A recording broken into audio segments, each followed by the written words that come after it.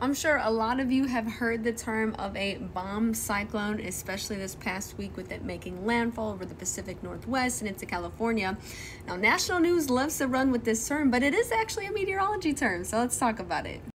Here's a satellite image of the bomb cyclone that made landfall across the Pacific Northwest and California coast. And essentially, a bomb cyclone is just a rapidly intensifying low pressure system. It's the same type of storm systems that we get that move across the country that we are definitely used to. Now, we measure pressure in millibars. You can also do it in hectopascals. You can look that up if you want. We don't have enough time to explain that. But essentially, to categorize a low pressure system as a bomb cyclone, press, pressure has to drop 24 millibars in 24 hours. And that is a lot in the grand scheme of things.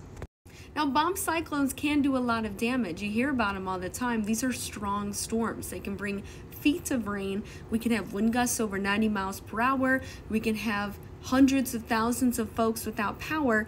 And you can even see a whole lot of snow, too. Now the photo behind me comes out of an example of March of 2019 with the bomb cyclone over Colorado where we saw widespread snowfall amounts from about 6 to 24 inches of snow. So next time somebody brings a bomb cyclone, you have the knowledge to drop.